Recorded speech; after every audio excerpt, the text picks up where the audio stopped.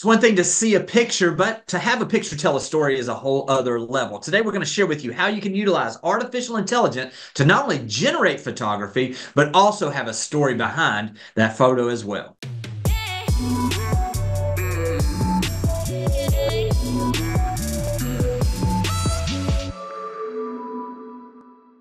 So, Jimmy, they say that um, a picture is a thousand words.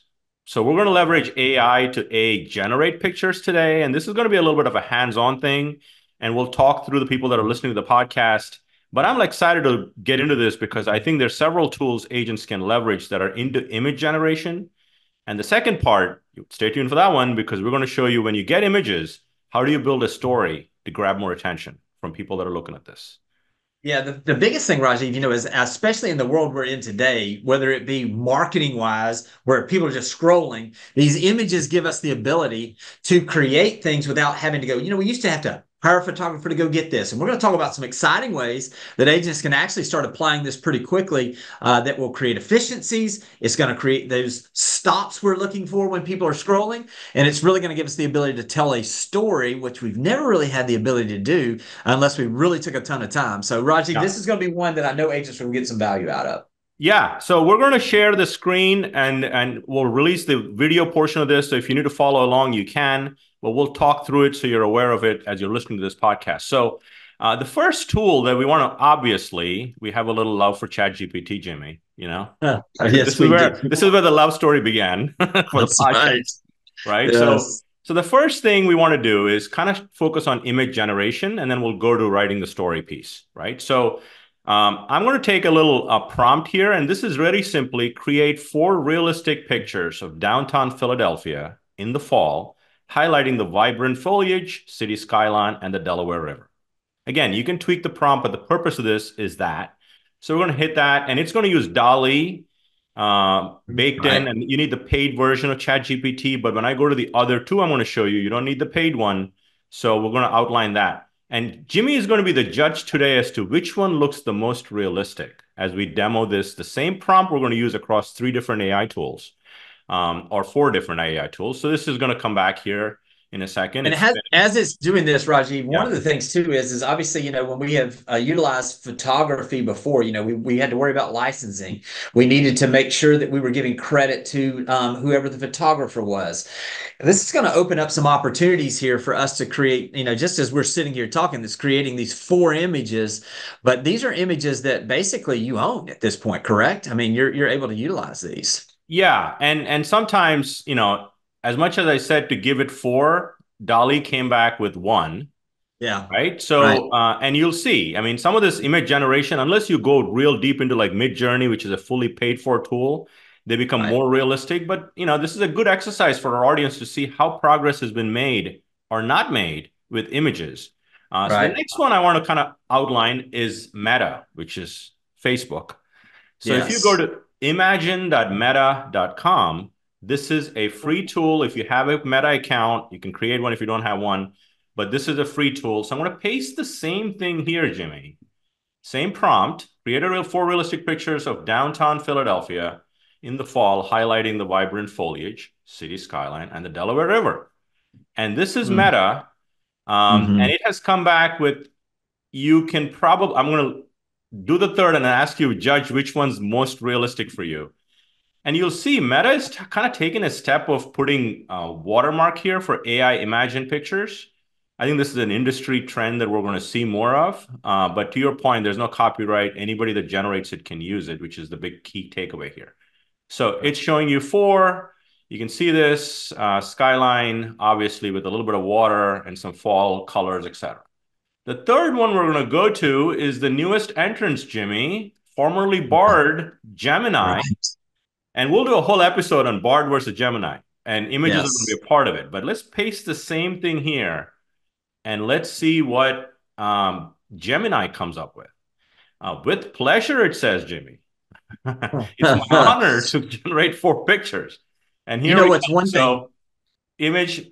Oh, yeah. And look at this. It gives you people in this. I didn't ask for it, but that's an interesting take, right? A little bit uh, people there. I'm going to show you all this because you're my judge today. So yes, um, that's that. I love that picture. Yeah, these are great. Yes, these are great. Yeah. And for those folks that are listening on the podcast, just so you know, obviously you can see this in the in the um, version that is going to be published. We'll have that in the show notes below. We'll have a link to that video. Yeah. Also, a couple of things. As I'm sitting here looking at this, and as I'm thinking from an agent's perspective, one of the things we've always talked about is is utilizing this from a standpoint to create opportunities for the agents. One of the things that we've been doing, and I know that your marketing team has been doing as well, is teaching agents how to create engagement on social media. This would be a great topic for you to take these images from these three different places and say, which of these looks the most realistic to you? I'm testing some new AI technology and how I can market homes at a higher level, and then just set the survey up. Now, this is going to give you the ability to subtly tell people that you're doing things a little differently, that you're at the tip of the spear as far as the technology, and it's also going to get you some engagement by doing the survey and doing some of those things um, on your social media that's really going to create a little bit of a buzz also. So there's so sure. many ways that we can utilize this in marketing, in promotion, in agent um, interaction with uh, with consumers. There's just so many different yeah. layers to this um, that we are just scratching the surface on it. And you bring up a great point. I, I go on Facebook. Occasionally I see agents say, do you like picture A, picture B, or picture C, like kitchen shots and stuff like that. It's a great idea.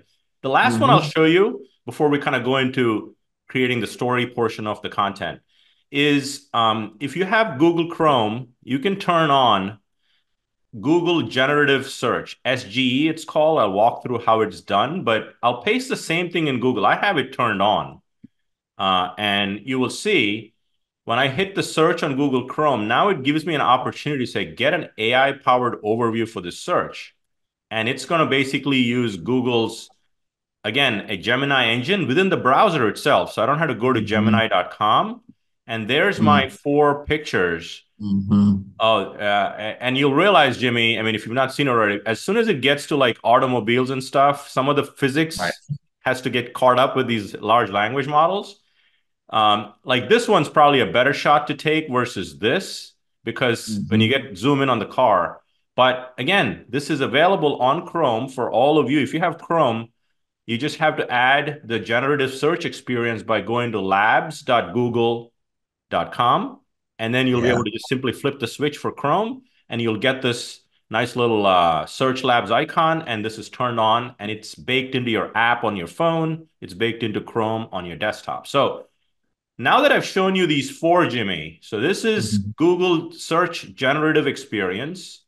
Now let me show you the other three and have you be the judge today. There's a um, clear winner here, in my opinion. I mean, and this is uh, what's great about this. Yeah. So this um, is Gemini.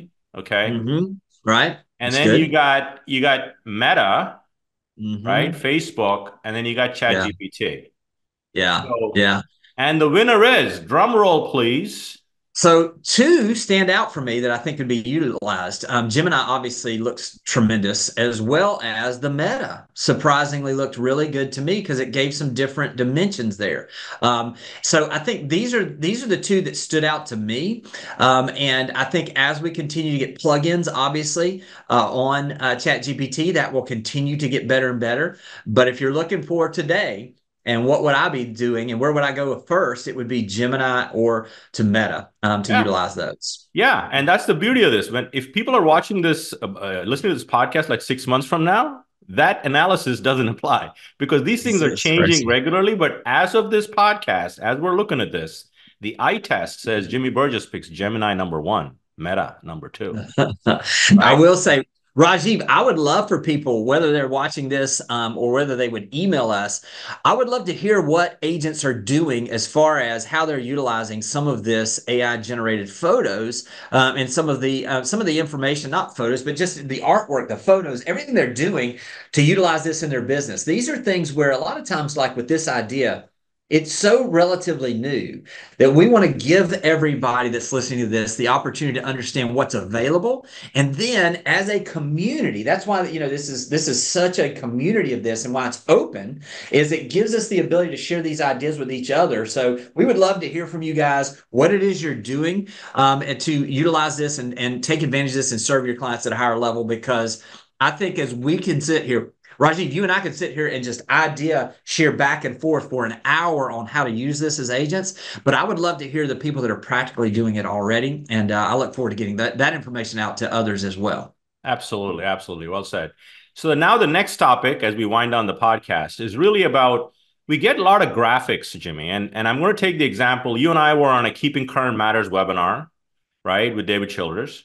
Right. And he st- he shared a couple of graphics that I said, I just took a screenshot because I knew we were going to do this podcast. And now what I, I'm going to do is take screenshots or graphics you receive from your company that you work at with market stats.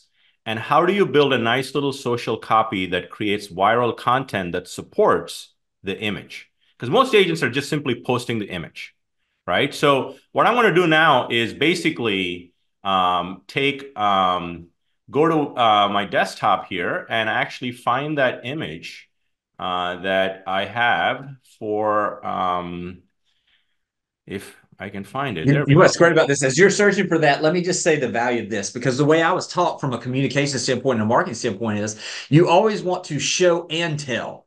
And so showing the the graphic, for instance, on the market stats in your area, or having the ability to really tell the story, you've taken this to a whole different level because t- people are typically thinking they're visual or their their thought their their thinking. And so what you've done is is you've actually taken what is already powerful as far as the image and now you've taken it to another level where there's not just an understanding of what this does but it gives people the ability really to see exactly what it is um, and hear the story behind it. Yeah so i've i posted the home equity chart which we'll see here and i basically said please write a short seo optimized facebook post with the highlights from this image.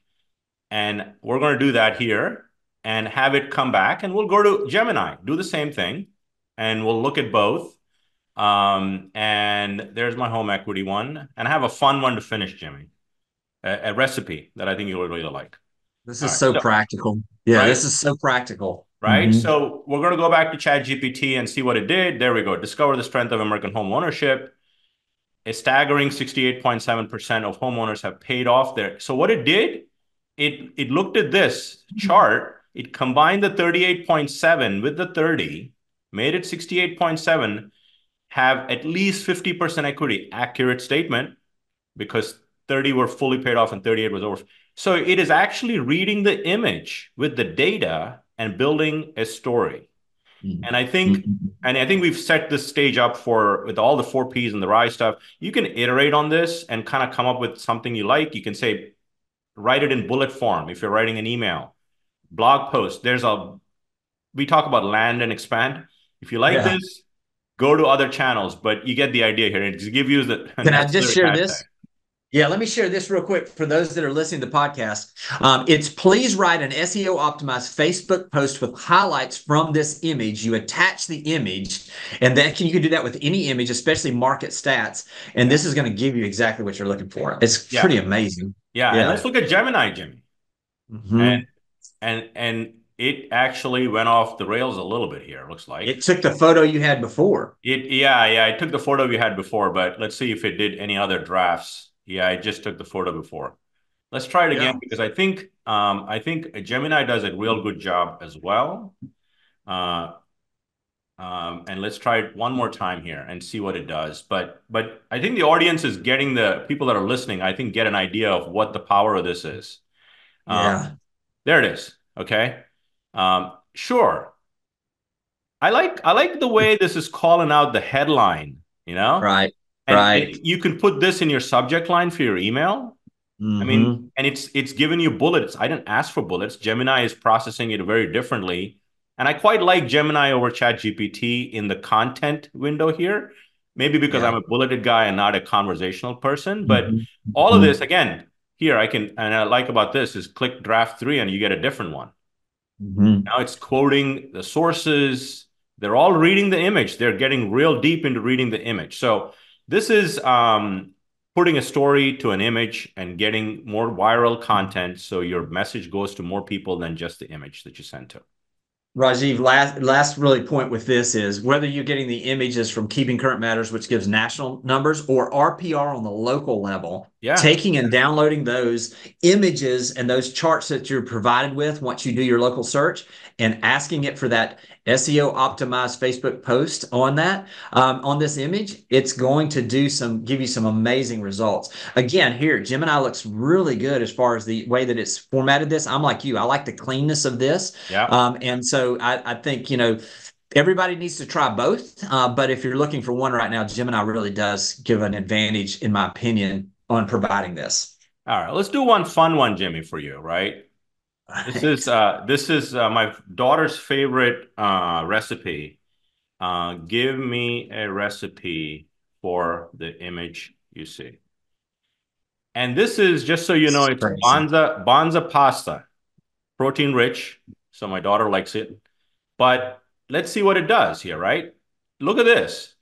Here's a recipe for creamy tomato chickpea pasta. 110% accurate. One pound dried Banza pasta. It, it's reading the image that you can barely recognize. We're looking at right. the screen. Yeah. Really don't know it's Banza pasta. It looks pasta for sure, right. but look at the granularity of the large language model to look at this. So again, that's a fun one, but you get the idea. Image. So if you're sitting at a food place, uh, take a picture, post it, and you got the recipe before you walk out the door right? Yeah, this is so, so good. Is, uh, so um, hope this helps. I think this is. I think vision with uh, AI is underutilized. To your point, Jimmy, from earlier, and hopefully this will kind of get people going in the right direction to embrace AI with vision because picture do tell a thousand words.